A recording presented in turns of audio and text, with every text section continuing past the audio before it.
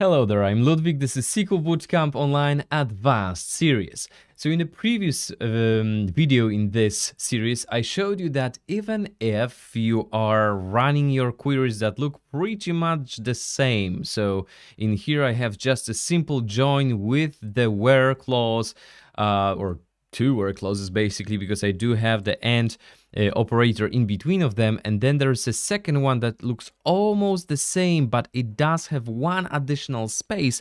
What happens in here this kind of a query will generate those two queries will generate two separate query plans all right? So when you just select the information from your DMVs, you will see that each one of those statements, even though they just differ by this one little space in, in here, in between them, you will see that they will generate different separate query plans. Now, those query plans, boom, you can see those, even though they are the same, they are two different entities. Now, what do you do in order to avoid that situation? Well, if you have an environment when you're writing a lot of those queries, and these are indeed ad hoc queries, so you're just writing a query, finding uh, out all of the information, and you don't want to overload your cache plan, uh, your plan cache, you don't want to pressure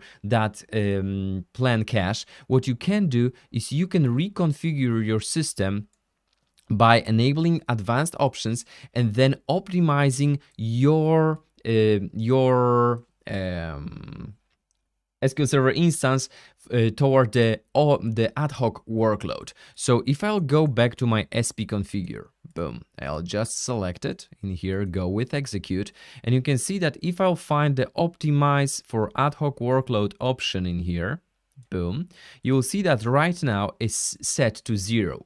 I do have the explanation of the uh, SP configure store procedure somewhere here on the SQL Bootcamp channel. So don't forget to subscribe and um, review that video if you want to.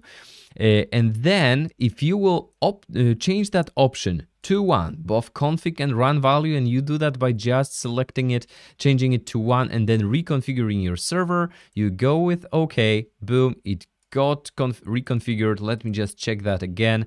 As you can see, my optimize for ad hoc workload option is being set to 1. It did not require the reboot because this is a dynamic option. And what I want to do right now is I want to free the cache, boom, to make sure it's empty. Let me just verify that again. Boom. I'll just select the whole thing in here.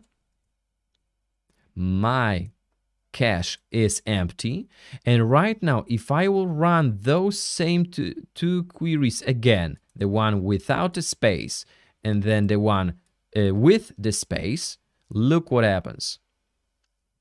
Again, selecting the entire thing, executing the workload.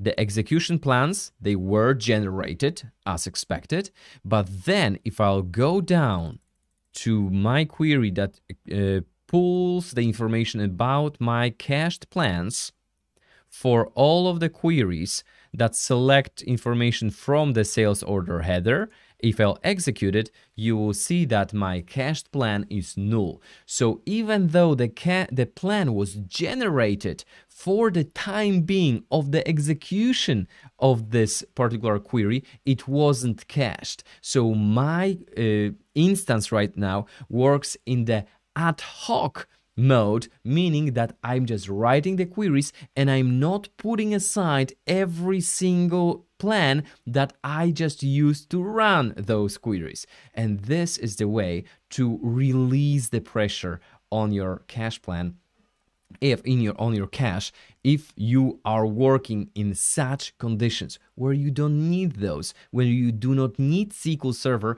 to remember those plans to cache those plans and then reach for those plans every single uh, time you are running a similar query. All right? This is how you enable the ad hoc queries or ad hoc or this is how you're optimizing the uh, workload for ad hoc queries on your SQL Server. I'm Ludwik, this is SQL Bootcamp Online, the advanced series. Don't forget to subscribe and let me know what would you like me to cover in the next episode. See you in that one.